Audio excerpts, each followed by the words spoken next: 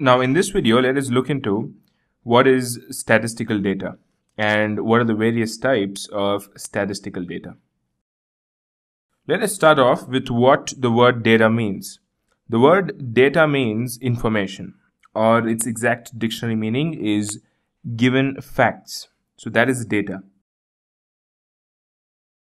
Now, statistical data are of two types, primary data and secondary data. Now let us look into what is primary data. What is primary data?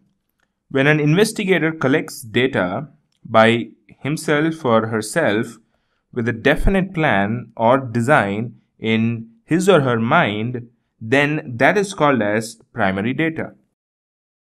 Now, primary data are reliable and relevant because they are original in character and are collected by some individuals or by some institutions or by research bodies. For example, data obtained in population census by the offices of Registrar General and Census Commissioner or Ministry of Home Affairs. Now, these are all primary data. Now, let us look into what is secondary data. Data which are not originally collected but rather obtained from published or unpublished sources are known as secondary data.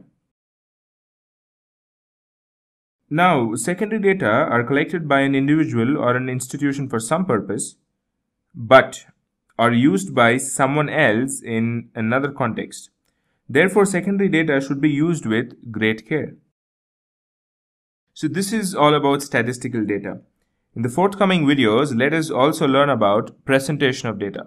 What are the different ways in which we can present the data obtained?